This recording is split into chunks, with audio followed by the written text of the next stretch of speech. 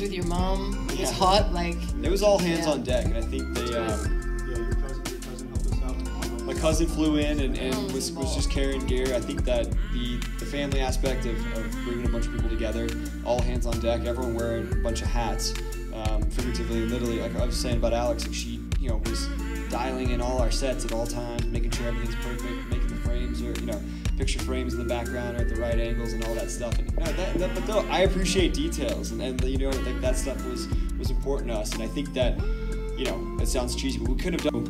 Right here. Sorry. Okay, so my question, speaking of the yoga, is how long did it take to build that part?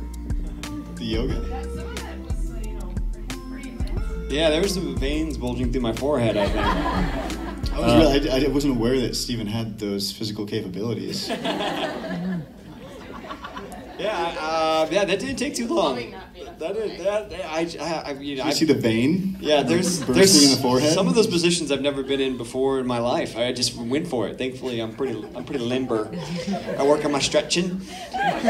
All the way in the back. We're gonna get him just because he's in the back. I saw you raise your hand. Yeah, what's up? Him or her? I can't see you. I'm sorry. It's a little late. Um, I was just wondering, I, I appreciated the freedom of expression that you guys had, and you said that you worked off of an out, more of an outline for your characters versus a script for your characters.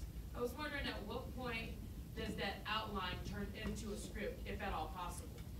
Um, well, I mean, I think pretty early on, you know, we have um, there are some lines of dialogue that we there, there's information that we know needs to get across, and we know we know who needs to convey that information. So there are some lines that are in there, but we don't necessarily put it in any kind of structure. We just give, you know, we arm the actors with, hey, this is what you need to say. This is where you're going to start Yeah, the this is scene. where you're this is coming where you're going to end up. Yeah. And and by the end of it, you've got to Don't screw um, it up. yeah, just don't screw up. By the end of it, you've got to convey this, this, and this information, and then the other actor gets their information, and then you just kind of see.